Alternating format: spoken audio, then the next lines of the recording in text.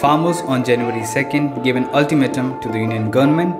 that they will march into Delhi on January 26 with their tractor trolleys and other vehicles with the national flag on them in a Farmer Republic parade after the official parade if their demands are not met.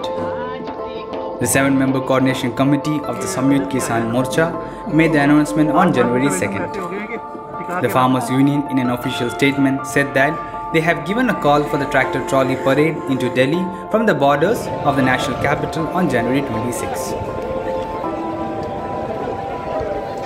The farmer leaders made it clear that in the last round of talks, though the government agreed to two demands, which they termed minor, even though they are yet to be given legal shape, while the major demands still remain unsolved. The protesting farmers said that they intend to be peaceful and told the central government during the talks it has only two options either repeal the three farm laws or use force to evict them. The protesting farmers also said that the time has come for decisive action as they have chosen January 26 both because the Republic Day represents the supremacy of the people and also because they would have demonstrated patiently and peacefully at Delhi's border for two full months in extreme weather conditions by then to get their demands met.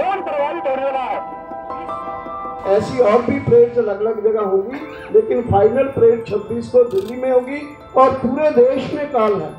पूरे देश में जिस प्रांत में कम tractor हैं वहाँ tractor के साथ व्हीकल मार्च और जहाँ ट्रैक्टर ज़्यादा है, ट्रैक्टर व्हीकल मार्च, और वो मार्च को हमने दिया है नाम के सिटी स्टेट का कैपिटल में और डिस्ट्रिक्ट का हेडक्वार्टर में, सारे देश में ट्रैक्टर किसान परेड के नाम से पूरा देश ये 26 जनवरी को किसानों के पक्ष में 26 जनवरी को संविधान दिवस के ऊपर पूरे देश में हमारे जो लोग हैं, एक जन जागरण का क्लाइमैक्स में वो जो है एक करेंगे परेड करेंगे।